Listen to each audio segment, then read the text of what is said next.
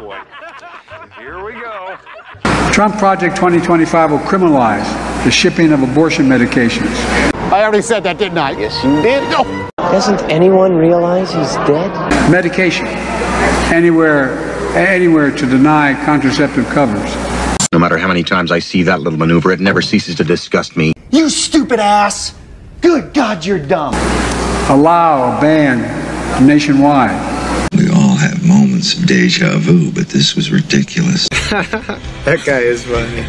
That's what Project 2024 is, 2024 25 is calling about.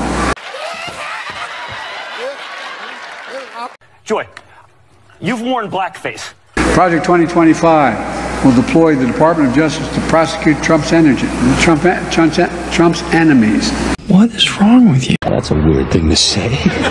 And that's the real deal. Sorry, I farted. If it isn't the Alzheimer Express, right on schedule.